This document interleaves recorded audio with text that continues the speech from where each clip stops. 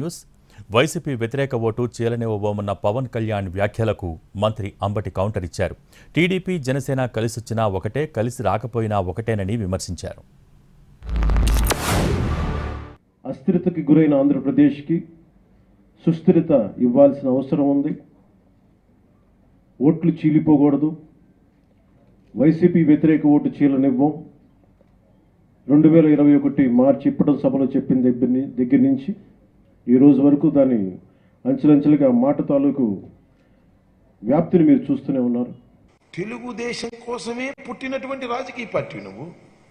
తెలుగుదేశానికి ఏదైనా నష్టం జరుగుతుందనుకుంటే ఎమట కాసుకోవడానికి వచ్చేస్తావు.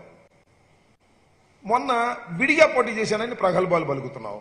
విడిగా పోటీ చేస్తే ఎవరికి లాభం? తెలుగుదేశానికి లాభం. అందువల్ల విడిగా పోటీ చేశావు. ఇవాళ ఓట్లు చీలనివ్వవు. అప్పుడేమో ఓట్లు చీలనిస్తావు. దీన్ని బట్టి అర్థం కావట్లేదా? నీ విధానం ఏమిటో